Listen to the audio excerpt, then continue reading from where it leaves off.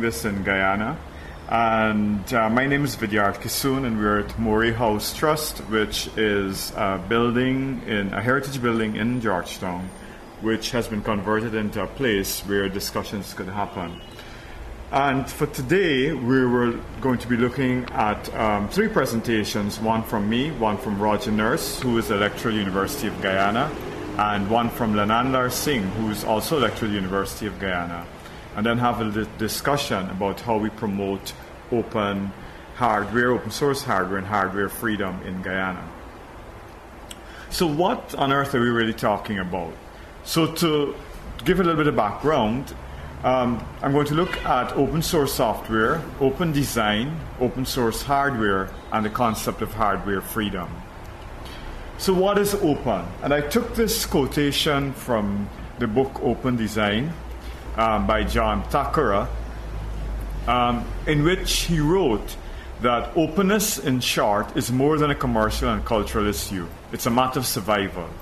Systemic challenges such as climate change or resource depletion, these problems of moral bankruptcy, cannot be solved using the same techniques that caused them in the first place. Open research, open governance, and open design are preconditions for the continuous, collaborative social mode of inquiry and action that are needed. So, in a way, this is a whole new idea in terms of holding things to intellect to, uh, under the regime of intellectual property and patenting. So, this is a whole new idea of trying to share knowledge and to build on it. So, the origins of this idea is in open source software. And open source software, for those of you who don't know, it's software for which the code or the blueprint is shared widely in which improvements can be made to the soft software and released, in which new products can be created and released, in which the goal is not always profit, but just creation for open and common use. It's sometimes free, meaning free of cost, and it's often subject to peer review, collaboration across many boundaries, and the collaboration has been enabled by the growth in the use of the internet. So, open design using Wikipedia as our source, it's a nice um, definition here. Open design is the development of physical products, machines, and systems through use of publicly shared design information. And um, in that definition, I just want to look a little bit about some of the interesting things around open design, um, collective invention, the trends in open design, and some of the current projects. I just want to declare at this point that before coming up with Hardware Freedom Day and, and thinking about it, this is the first time I had ever heard about any of these things. So it's very interesting for me. Okay, so open design, collective invention. And I just extracted a table there from a paper that was done in 2003 by Peter Meyer from the US Bureau of Labor Statistics um, in which he looked at this idea of collective invention, in which communities and persons and uh, uh, laborers and others working um, on specific things, um, how they came together to invent. And he considered the steam engine case, James Watts, who invented the steam engine in the late 1700s, but his patent expired in the 1800s.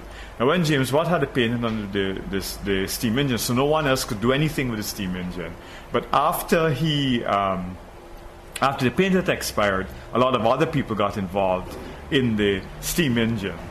Now, and of course, the, the steam engines were used in, in Cornwall in England to pump out water from the coal mines. The next um, episode of Collective Invention that he looks at is the Cleveland district about the blast furnaces used in the industrial uh, in the industrial revolution in terms of using iron, and again where the iron makers in the Cleveland district in of north, northeast England they used to come together and visit each other to see how they were improving um, on the design of these blast furnaces and using them. Then the Bessemer Steel, the U.S. mass production of steel. Again, there was a patent um, pool agreement, and then that agreement expanded, and you had all these other um, ways of collaboration, of getting investment, and so to improve on the design. In the 1970s, when microprocessors became available, the um, microcomputer. Oh, hi. hi, how are you doing? And the other episode of collective invention apparently was in the microcomputer clubs that in the early 70s, when the uh, microprocessors were first invented, it seems as though um, there were groups. There was this group called the Homebrew Computer Club and all of that. And they used to meet and improve on the chips and build the computers. So this is very interesting. And then, of course, Linux, the whole open source case um, with looking at the internet uh, when the internet came up, and then um, Linus Torvalds started his idea of making um, software for a PC, uh, a Unix PC.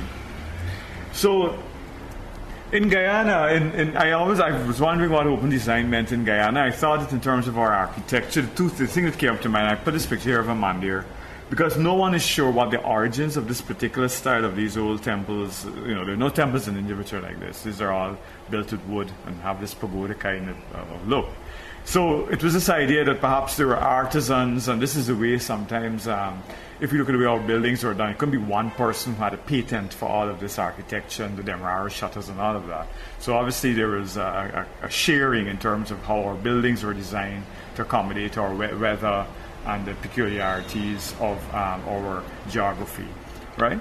So, and I also had jokingly um, thought about something like the Tapir, which was a car that used to be built in Guyana, and how the guys up in um, in in Skeldon how they up in the upper Corentyne, how they continue to use those vehicles. They well, and, and sometimes those vehicles have been completely um, done over. The engines are no, you know, that's there's all sorts of things that are happening.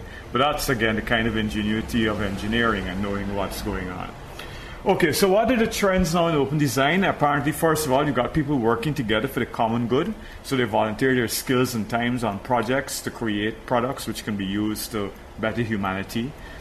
Then there's some projects which are really advanced um, and which are just ideas, and there's collaboration between um, manufacturers and other foundations and institutions to share resources to build those projects.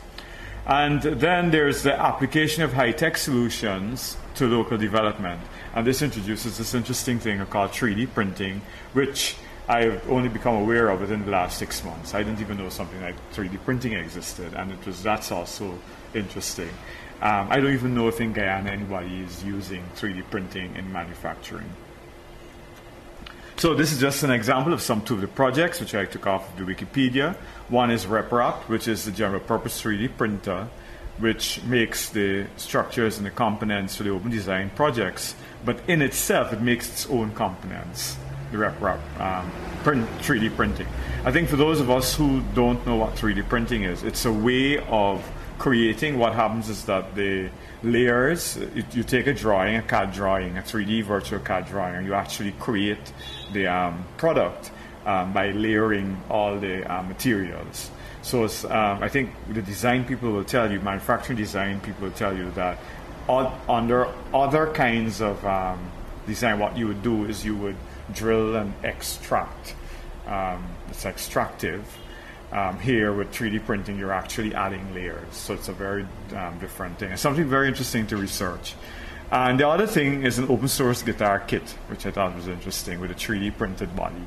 And again, 3D printing to create the guitar, um, which could be used. And there's some YouTube clips and so about 3D printing, which I think, um, you know, I hope that designers in design engineers in Guyana can have a look at. Um, so Open source hardware basically is hardware created and shared with all the design components. In other words, not just the software, the schematics, the drawing, the bills of quantity, the hardware definition language code, everything that has to go to make us use that open source hardware. Um, that goes into different kinds of hardware, electronics, cameras, robotics, computers, um, um, different other things. So, what's hardware freedom? The Open Hardware and Design Alliance modified the definition of um, free software to say that hardware freedom is basically um, hardware that has uh, these following four things. First of all, you have the freedom to use the device for any purpose.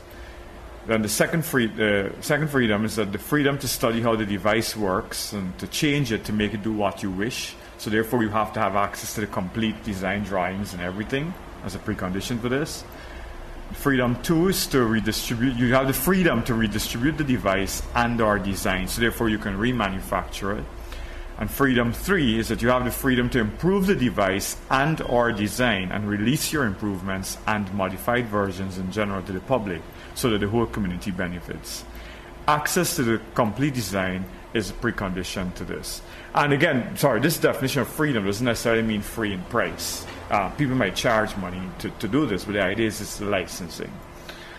So that's just our general introduction here about what is my learnings about open design, open source hardware, and hardware freedom.